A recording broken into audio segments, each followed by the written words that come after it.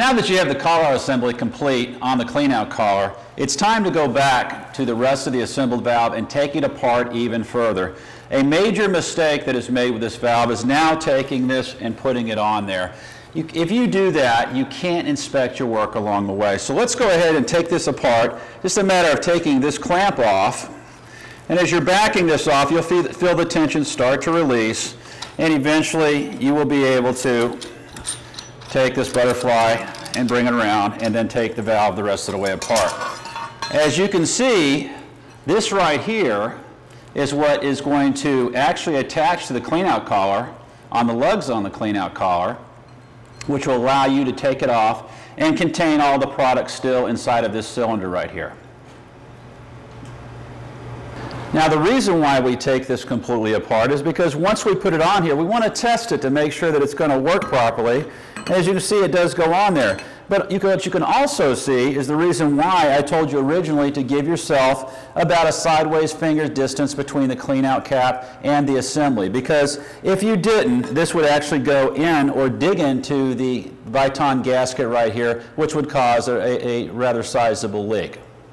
The next part of the assembly process is actually to put the housing up against the Viton gasket. Now when you do this and you move in here, it's important to keep good pressure on this valve to make sure that it won't come apart. After you apply pressure to it, get someone to assist you to hold, hold further pressure on, which is what I'll do right now. Got it?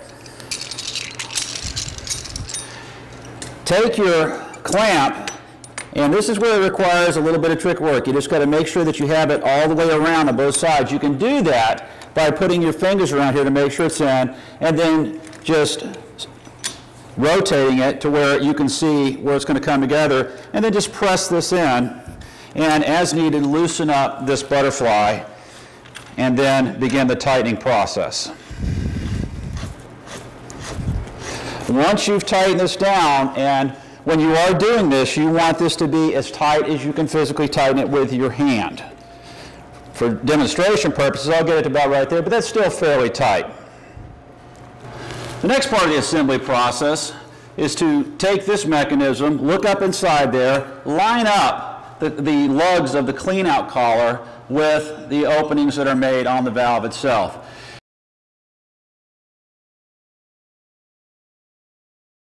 Now understand, this is a plunger, it's not a screw. What you need to do is move it in there, look up inside there, keep your hands out of the way, capture the lugs, and then don't press on this on the valve itself. Press on this little plate right here, and you'll hear it snap in place. At that point, an assistant can come in and help you assemble, finish the assembly of the valve. By tightening up this butterfly, you're going to be compressing a little gasket that's up inside there to make sure there's not going to be any leaks.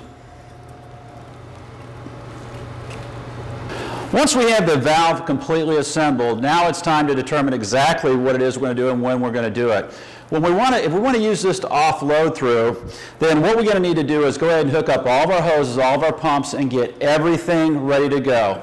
Because as soon as we take that cap off, product is going to start flowing. If your application hasn't been absolutely perfect, in fact, you could have a small leak back here, but because you have your unloading process already in line, even if there is a tiny minor leak, as soon as you start your pump process, that, that, leak, that leak is, or the product is going to be sucked right past the leak. So it should be very minimum at very first and then completely go away once the pumping process is started. Now, when we get ready to take this off, we're going to make sure we don't make a few big mistakes. One of the mistakes being this, that you stand directly in front of this valve and press up against it. Because once you try to open this, the cleanout cap itself literally wants to come towards you. When you're pressing in on it, it makes it feel like it's cross-threaded. And if you're too close to that Viton gasket inside, in fact, you may well cut into it. Instead, you want to stand to the side. And when you stand to the side, you keep yourself out of the way of any potentially large leaks, especially considering the fact that it's a pressure vessel. When you're ready to open it and you have all your unloading process in line, it's really a matter of just turning this thing to the left. And as you turn it, you will feel the cap loosening up. And then finally, the cap coming off, and the product is going to push the cap out of your way. At that point, the, uh, the, this little ball valve down here can be opened up, and then the pumping process can start.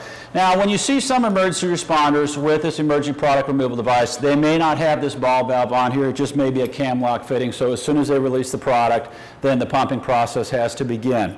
Uh, this is not always necessary, it's great for training, uh, it also does give you another point of control. As you see right here, you see we've developed a small leak, and that is in fact coming from a packing nut right, that you see me tightening right here. Now, again, it will be very tiny in nature. All you need to do is turn this with your hand till you get it tight enough to stop the leak. The packing in there, of course, is to prevent any product from coming leaking down on the stem itself. Just like in any un pump unloading process, you're going to need to vent the trailer. Which means when we're taking product out here, we've got to let something in the tank. Unfortunately, most of the areas that we usually vent the trailer through are now have liquid up against them. So we have to get a little bit more creative, which in fact we could use in another emergency product removal valve on another clean out collar, or we may be able to go into the crash box where there's a three quarter inch air inlet, hook up a hose, and extend it up above the liquid level. As the product starts to flow and we turn on our prop, or turn on our pump, we will slowly crack the air inlet or the valve on the air inlet until we hear air drawing in there. We want to run our pump at a very moderate level just so it's just taking the product off very, very slowly. For more information on the emergency product removal device, to purchase one or to purchase a dome leak simulator, feel free to visit our website.